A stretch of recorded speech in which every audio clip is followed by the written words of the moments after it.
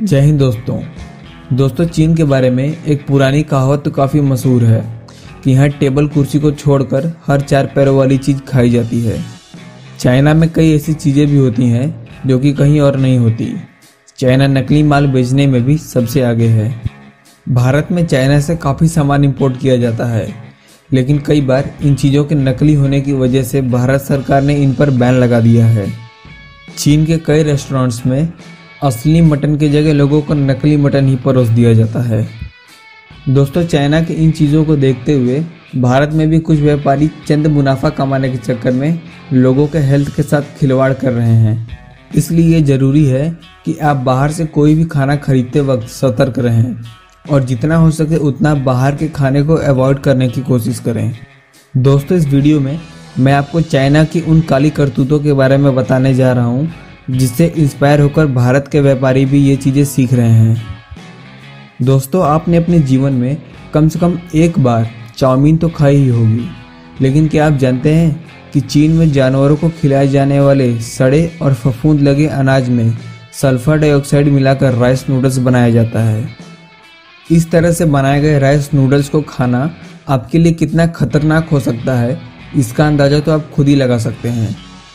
China के लोग सबसे ज़्यादा कीड़े मकोड़े और अजीबोगरीब तरह के मांस खाना पसंद करते हैं।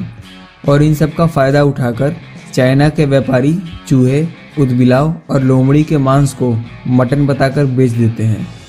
और लोग चूहे का मांस पहचान न पाए, इसलिए उनके मांस में जेलेटिन, नाइट्रिक और लाल रंग मिलाकर बेच दिया जाता है। और सिर्फ़ यही नहीं दोस्तों, चाइना में बेची जाने वाली आधी से अधिक शराब भी नकली ही होती है। लोगों को असली और नकली मटन में पहचान कराने के लिए चाइना के पुलिस ने वहाँ के सोशल नेटवर्किंग साइट्स में कुछ वीडियो ट्यूटोरियल्स भी जारी किए हैं।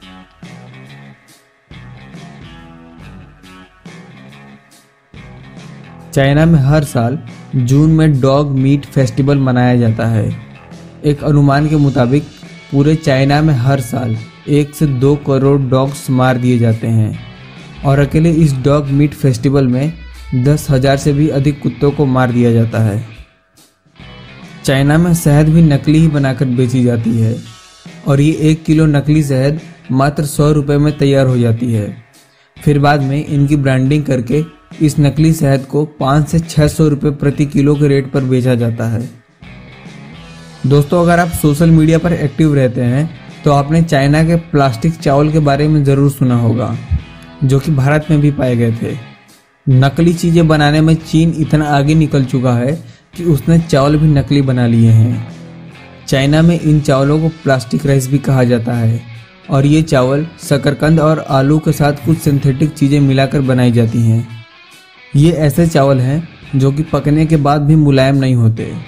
अब ज़ाहिर है कि भला प्लास्टिक की बनी हुई चीज़ भी कहीं पकती है।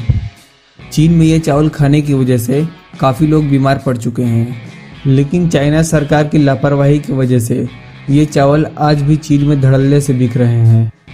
एक बाइमल प्लास्टिक बैग को बनाने में तीन कटोरी प्लास्टिक लगती है। तो इसका मतलब ये कि अगर आपने तीन कटोरी नकली राइस खा लिए तो इसका मतलब कि आप एक बाइमल प्लास्टिक का बैग खा चुके हैं। अब आप खुद ही ये सोच सकते हैं कि ये चावल खाना कितना खतरनाक है।